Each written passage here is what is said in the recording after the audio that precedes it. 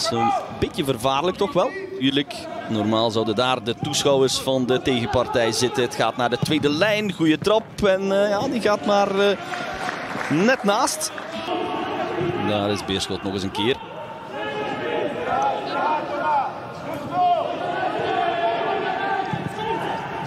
Uitkijken, goede bal is dit. En een goede redding.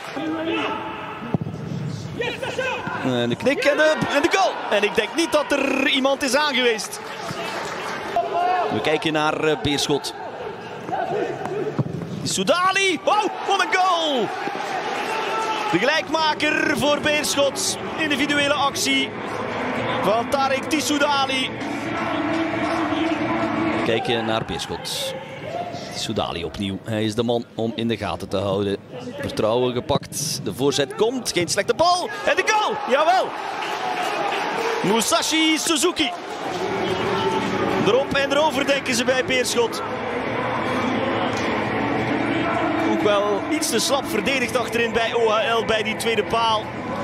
Die voorzet kon ook makkelijk komen.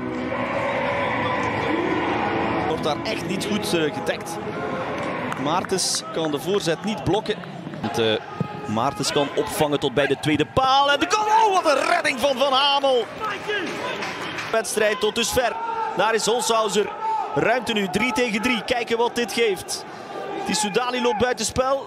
Holshouser probeert hem te wippen. En zo Romo te verrassen. Henri kan die er wat mee doen. Klaarleggen voor Mercier. Mercier zit daar vast, maar wat nu? Waar moet het naartoe? Hubert proberen. Goed, dat heeft hij. Oh, op de kruising.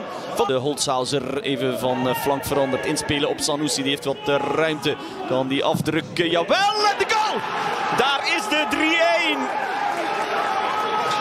3-1. Tamari, maar Holzhauser blijft in bolbezit trappen op de vuisten van Romo.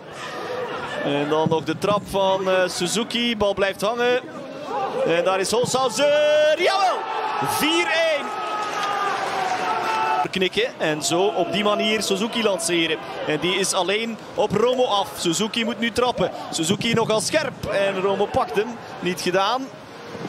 En uh, Malinov nog met de tackle ertussen. Want hij te vroeg in het strafschopgebied was. Kijken naar Henri. Kan hij het wel? Jawel. En daar is dan toch de aansluiting.